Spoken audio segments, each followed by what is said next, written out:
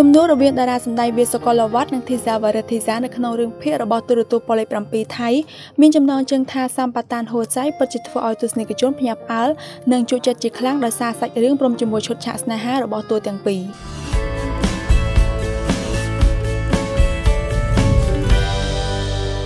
ស្របពេលជាមួយគ្នានេះដែរអ្នកគ្រប់គ្រងមួយចំនួនបានផ្ដោតការចាប់អារម្មណ៍ចំពោះតារាសម្ដែងវាសុកលវត្តនិងគូស្នេហ៍ពិតបេឡារ៉ានីដែលសុទ្ធសឹងជោគជ័យក្នុងការងារសម្ដែងពិសេសប៉ះឈុតឆាកផ្អែមល្ហែមជាមួយដៃគូក្នុងរឿងរៀងៗខ្លួន។ដំបូងឡើយគឺបេឡាត្រូវប៉ះជាមួយប៉ុបឋានវត្តដែលធ្វើឲ្យទស្សនិកជនភាគច្រើនសរសើរពីភាពស៊ីសង្វាក់របស់តួប្រុសតួស្រីទាំងពីរនៅក្នុងរឿងបុព្វេសន្និវាសដល់ថ្នាក់ភូពងអ្នកទាំងពីរទៀតផងប៉ុន្តែប្រការនេះមិនបានធ្វើឲ្យវាមានការអាក់អន់ស្រពន់ចិត្តឬការចិត្តប្រច័ណ្ឌនោះទេ